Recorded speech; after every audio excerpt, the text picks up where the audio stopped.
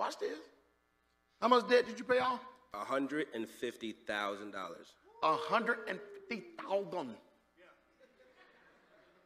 Wait a minute. Of course, now your wife's a school teacher, right? That's correct. Of course, you know you kept her on the job to make sure that that debt got paid off, right? No, no, no. I took her off the job.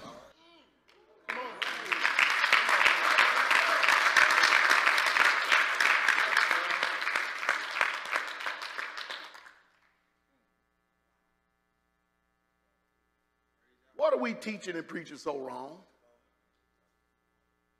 You hear that?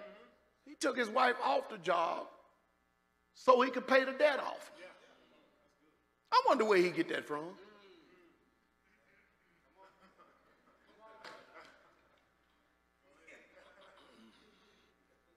What have I said about y'all when you get young? When you're young, work your ass off. Some of you gonna defy that though, ain't you? See, conventional wisdom and knowledge says, okay, babe, you work double shifts, I work double shifts, we'll get this thing paid off and we good to go. He went against conventional wisdom. Uh, you didn't you didn't get much sleep, did you? No. Really? No, three, four hours a day. Rough at times too, huh? Yes, sir. You getting any sleep now? Still no sleep. Why you, why you working? You still working double jobs? We have a vision, sir. Got a vision.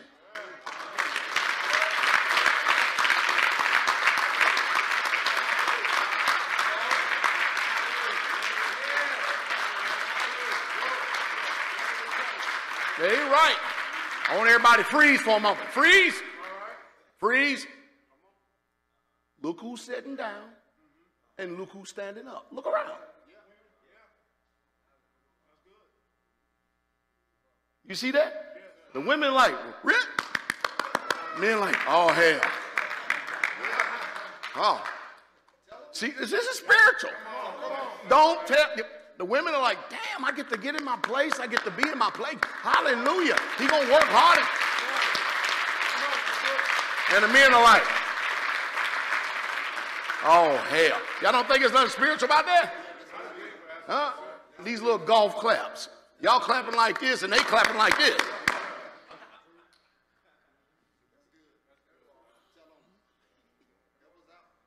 Look! That's why I say everybody freeze. You can't make this stuff up. Brothers, look, look. See, they don't want to look. Look around. Stiff necks.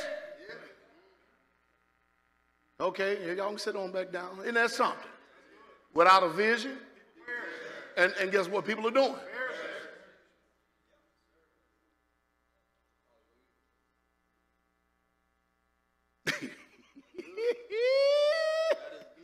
Look at the devil, and the devil is a liar.